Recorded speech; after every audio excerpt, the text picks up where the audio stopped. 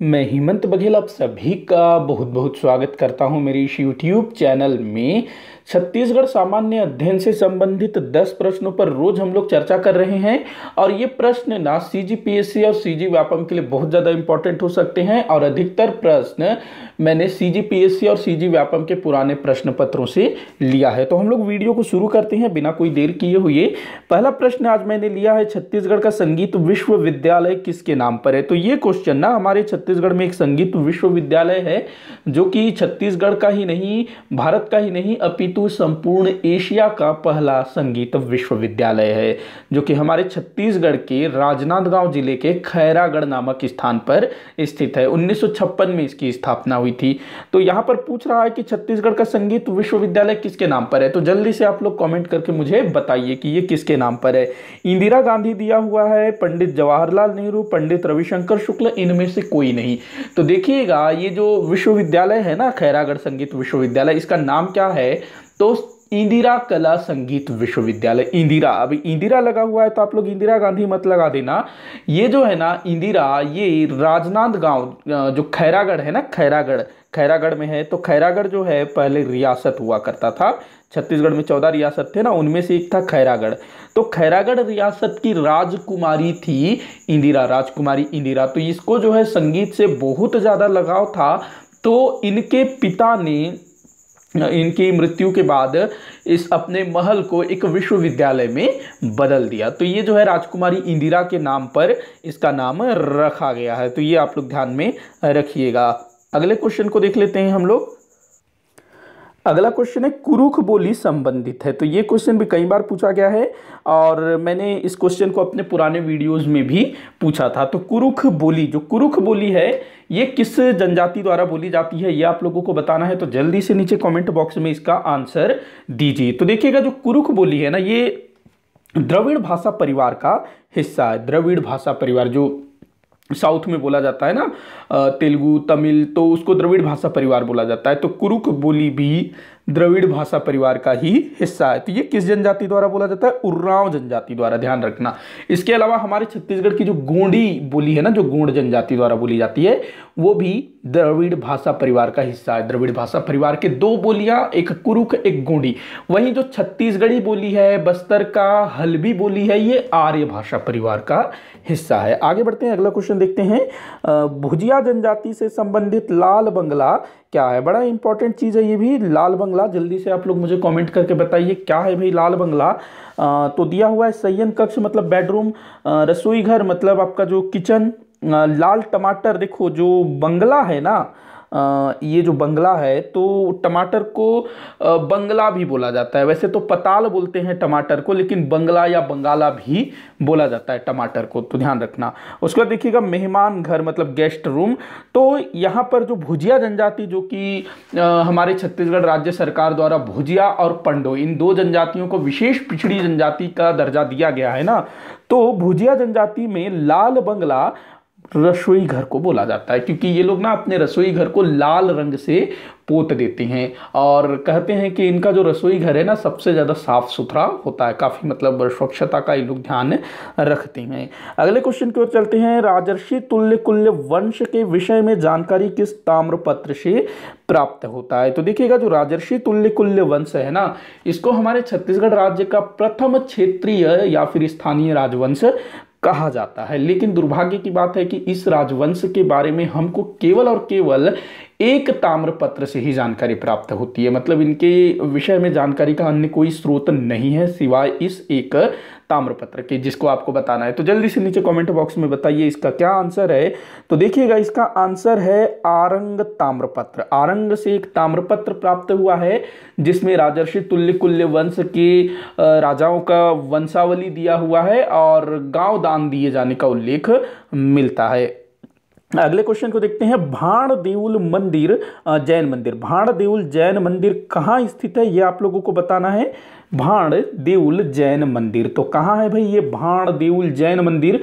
तो ये है आपके आरंग में। आरंग जो कि रायपुर ज़िले में है ना, और इसको क्या बोला जाता है? मंदिरों की नगरी। ये महानदी के तट पर है आरंग।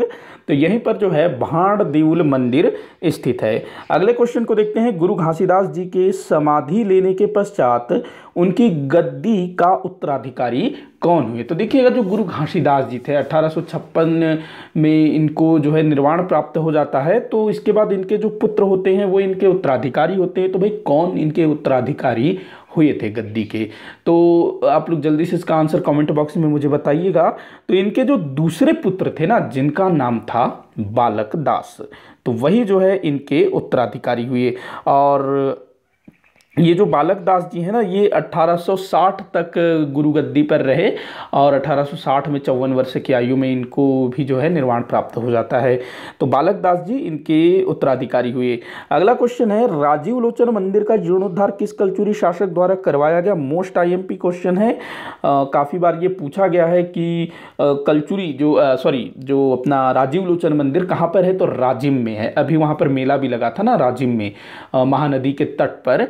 तो तो इस मंदिर का निर्माण जीर्णोद्धार किसने करवाया, अक्सर पूछा जाता है। तो जल्दी से आप लोग नीचे कमेंट करके बताइएगा कि इस मंदिर का निर्माण किसने करवाया, साथ ही साथ इस क्वेश्चन का जो आंसर आपको बताना है ना कि जीर्णोद्धार। तो दोनों चीज़ आप बताइए जल्दी से। तो देखिएगा, इस मंदिर के अगर मैं निर्माण की बात करूँ तो नल वंश का एक शासक था राजा विलास तुंग, राजा विलास तुंग। तो उसने जो है इस मंदिर का निर्माण करवाया। और आगे चल कर के जब छत्तीसगढ़ में कलचुरियों का शासन हुआ तो अब समय के साथ जो मंदिर है, थोड़ा सा उसमें मरम्मत की आवश्यकता पड़ी होगी। मतलब थोड़ा टूट फूट गया होगा, क्योंकि बरसात है, आंधी तूफ़ान है तो उससे जो है कुछ खंडित हो गया होगा। तो पृथ्वीदेव द्वितीय। इसके समय में इसका जो सेनापति था, जगतपाल देव, ये भी पूछा गया जगत पाल देव, जगतपाल देव, ये इसका सेनापति था पृथ्वीदेव द्वितीय का। तो जगत पाल देव ने इस राजीव लोचन मंदिर का जीर्णोद्धार करवाया पृथ्वीदेव द्वितीय के समय। अगला क्वेश्चन है, छत्तीसगढ़ खनिज विकास निगम के मुख्य कार्यालय का नाम क्या है? तो हमारे छत्तीसगढ़ जो है खनिज संपदा से भरा पूरा है, भरपूर है। लोहा, कोयला बॉक्साइड जैसे खनिज यहाँ काफ़ी मिलते हैं। तो हमारे छत्तीसगढ़ राज्य का जो खनिज कार्यालय है, खनिज विकास निगम तो इस कार्यालय का क्या नाम है? मतलब कुछ नाम रखा गया होगा तो क्या नाम है? वो आपको बताना है। इंद्रावती महानदी, ये तो भाई नया रायपुर में है ना? इंद्रावती महानदी भवन। इसका जो नाम है वो है सोना खान। देखो, जो सोना खान बड़ौदा बाज़ार की एक जमींदारी हुआ करती थी पहले और इसी सोना खान से वीर नारायण सिंह जी संबंधित थे। तो सोना खान ने इस जो छत्तीसगढ़ खनिज निगम का कार्यालय का नाम है, छत्तीसगढ़ खनिज विकास निगम। आगे बढ़ते हैं अगले क्वेश्चन की तरफ़। टाटा मारी कहाँ स्थित है? टाटा मारी जल्दी से इसका आंसर आप मुझे कमेंट बॉक्स में दीजिएगा। टाटा मारी टाटा मारी इसी टाइप का ना एक और नाम आपको मिलेगा ताता पानी ताता पानी। जो ताता पानी है ना वो सरगुजा संभाग के बलरामपुर ज़िले में है ताता पानी। लेकिन वहीं जब बात टाटा मारी की आती है ना तो ये टाटा मारी आप लोग देखिएगा केसकाल कांकेर बारसूर कांगेर घाटी पूरा मतलब बस्तर क्षेत्र का ही नाम है ना बस्तर क्षेत्र के स्थान है। तो मतलब कि दक्षिण में है जबकि जो ताता पानी मैंने बताया आ, मैं लिख देता हूँ ताता पानी, ताता पानी। ये कहाँ पर है? बलरामपुर में। थोड़ा थोड़ा मिलता है ना? ताता पानी, टाटा मारी। तो ये ताता पानी बलरामपुर में। और टाटा मारी कहाँ पर है? तो कोंडागांव ज़िले के केसकाल में स्थित है टाटा मारी। तो ये एक प्राकृतिक सौंदर्य मतलब पर्यटन स्थल है टाटा मारी केसकाल कोंडागांव। इस वीडियो का आखिरी क्वेश्चन है, निम्न में से कौन सा एक छत्तीसगढ़ में किया जाने वाला स्थानांतरित कृषि नहीं है। तो देखिएगा, हमारे छत्तीसगढ़ के जनजातियों द्वारा स्थानांतरित कृषि भी की जाती है। तो नीचे कुछ शब्द दिए हुए हैं तो कौन सा स्थानांतरित कृषि नहीं है? तो दाहिया, ये तो भी है, कमार जनजाति द्वारा किया जाता है, पिद्दा बुझमाड़िया द्वारा किया जाता है, बेवार बैगा द्वारा किया जाता है। बाकी जो मयारी है ना भाई, ये तो कोरवा जनजाति का जातीय पंचायत है ना, ये थोड़ी आपका, वो है, क्या कहते हैं स्थानांतरित कृषि। ये क्या है? जातीय पंचायत। तो इसी के साथ आज का ये वीडियो यहीं पर समाप्त होता है। आप लोग मुझे कमेंट के माध्यम से बताइएगा कि आपसे कितने क्वेश्चन सॉल्व हुए। जहाँ भी डाउट हो, वो भी आप मुझे ज़रूर बताइएगा ताकि मैं उसको सॉल्व कर सकूँ। वीडियो को जितना हो सके उतना आप शेयर करिएगा। चैनल को सब्सक्राइब करिएगा। वीडियो को आखिर तक देखने के लिए बहुत बहुत धन्यवाद।